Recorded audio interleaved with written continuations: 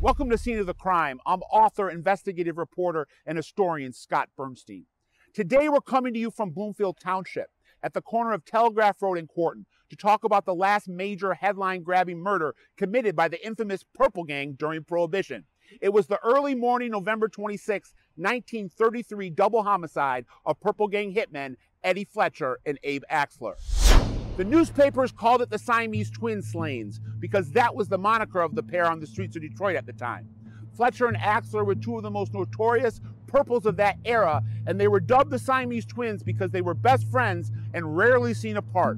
A vicious tandem of killers and extortionists who had arrived in the Motor City together in 1926 from New York and quickly shot their way into the media's glare with their role as triggermen in the 1927 Milaflores massacre.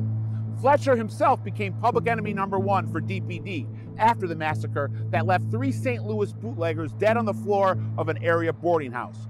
He killed the three out of towners with a machine gun, the first documented use of an automatic weapon in the history of the Detroit underworld. Fast forward to 1933, and the Purple Gang, Detroit's most iconic and ruthless criminal organization and the nation's only self contained Jewish mob, was on its last legs. Prohibition was coming to an end and the Purples were disbanding. As the area's Italian mob began absorbing the gang's rackets, the remaining Purples were left to fight over the scraps.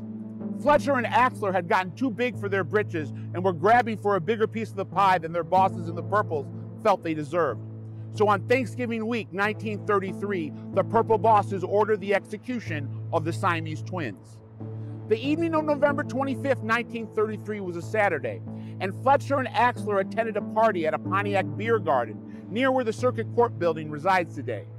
They were with their fellow Purple Gang lieutenants and felt comfortable to let their guard down. After they were both good and liquored up, after the clock had turned midnight and had become November 26, the Purples they were with offered to drive them home.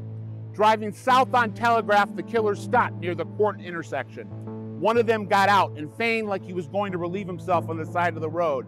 Instead, he turned to the back seat of the vehicle and unloaded his gun into Fletcher and Axler. Today, the location sits in the shadow of Conant Elementary School and Bloomfield Hills Middle School.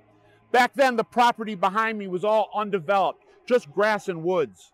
When the police finally discovered Fletcher and Axler's body the next day, they were riddled with bullet holes and had been left upright in the back of the abandoned car with their hands and arms interlocked.